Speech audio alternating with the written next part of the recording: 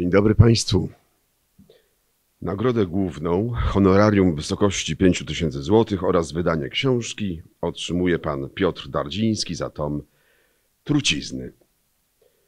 Piotr Dardziński, przyjechałem z Łodzi. e, Na co dzień pracuję e, w szkole. Jestem również trenerem kreatywności w takim projekcie Odyseja Umysłów.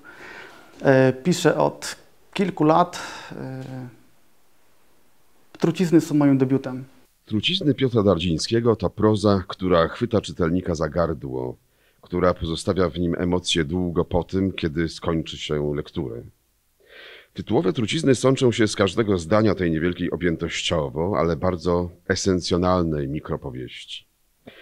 Tekst wciąga czytelnika w wir rodzinnego dramatu, czyniąc z niego nie tyle uczestnika opisywanych zdarzeń, co ich podglądacza, świadka, który, mimo że bezsilny, nie może pozostać obojętnym. Temat, który pisarz wziął na warsztat, może wydawać się już wielokrotnie eksplorowany literacko, jednak w ujęciu prozaika staje się opowieścią świeżą. Opisanemu w książce rozpadowi rodziny towarzyszy rozpad stylów i języka samej opowieści. To bardzo ciekawa i dramatyczna historia, umiejętnie narracyjnie skonstruowana. To coś więcej niż zwykła obyczajówka, po prostu dobry literacki tekst.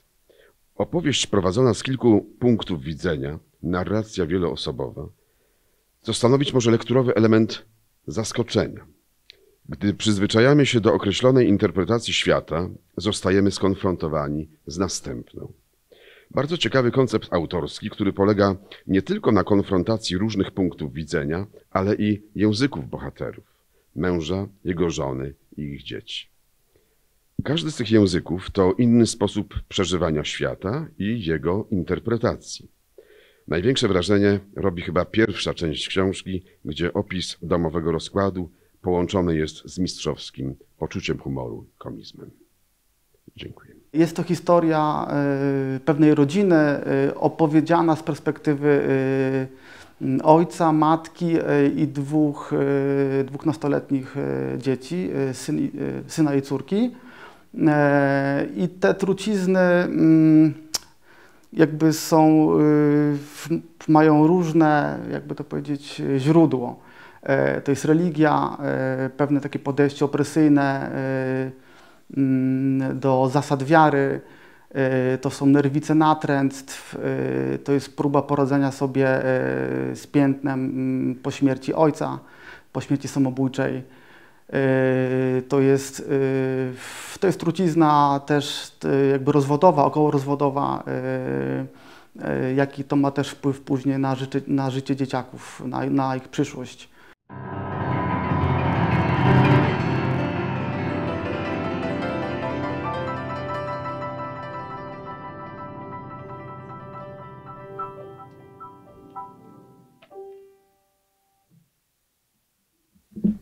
Dziękuję za nagrodę główną. E, Przeczytam krótki fragment e, tej mikropowieści. Prawie już zasypiałam, kiedy wszedł do mojego pokoju. Przysunął fotel do materaca. Wyglądał, jakby chciał mi coś powiedzieć. Nie wiem, coś bardzo ważnego i bardzo trudnego jednocześnie. Powiedzieć i zaraz uciec. Ale pachnie ta kołdra. No, odpowiedziałam przerażona. To musiało być naprawdę coś ciężkiego, skoro tak trudno było mu zacząć. Pogłaskałam wypraną poszewkę w żółte tulipany. Gdybym tak mogła przez to pocieranie zamienić ją w latający dywan, który przeniesie mnie do innego świata. Jak nigdy potrzebowałam bajek. One zawsze dobrze się kończyły. Tata podniósł leżący na podłodze zeszyt. Pomachał nim, jakby znalazł, znalazł właśnie to, czego szukał i ostrożnie położył na biurku. Opadł na fotel, aż zaskrzypiało. W ogóle był jakiś cięższy, jakby przytył przez tę drogę do mojego pokoju. Zniżył lampkę i cień momentalnie pożarł mu pół twarzy. Po tej drugiej, ocalałej, zaczął drapać się tak mocno, jakby szorował przypalony garnek. Był bardzo smutny w tym szorowaniu, aż nie mogłam na to patrzeć. Chciałam krzyczeć, żeby przestał. Kiedy przestał, zapytał, czy chce wody.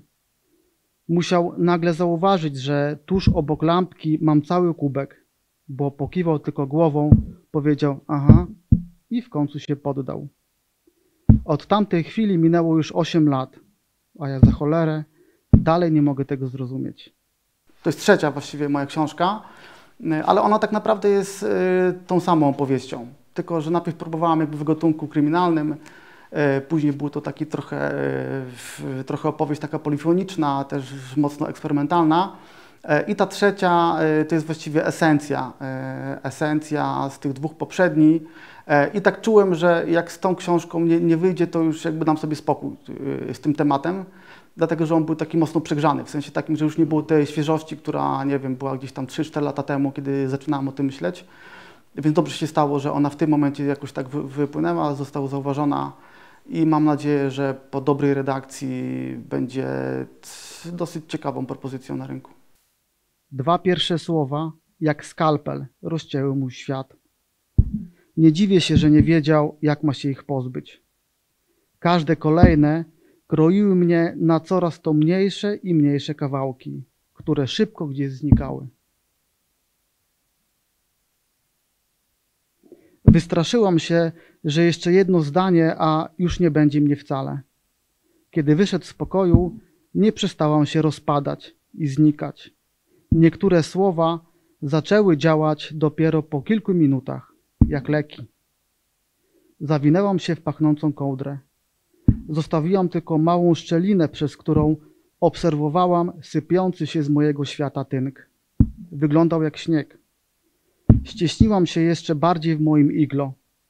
Jak już wyjdę z niego zmarznięta, to pomyślałam, że fajnie by było, gdyby ktoś mnie pogłaskał po plecach. Jak wtedy, kiedy byłam mała i wszystkiego się bałam. Chciałam poczuć ciepło, które daje tylko skóra drugiego człowieka.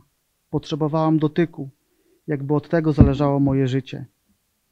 Leżałam w swoim kokonie i wywąchiwałam zapach z pościeli. Zwykły płyn do prania, ale dla mnie był teraz jedynym tlenem. Mama, tata. Pierwsze słowa w życiu dziecka. Dwie sylaby. Fundamentalne, ale jakieś takie dziwne, nie na serio, za krótkie. Jak na to, jaki ból ze sobą niosą. Tyle w nich sprzeczności, rozczarowań, a kiedy tylko je wypowiem na głos, już ich nie ma. Jakby bały się zostać na dłużej w powietrzu. Tego, że zostaną usłyszane, więc znikają, żeby nie zostać zapamiętane. Dziękuję.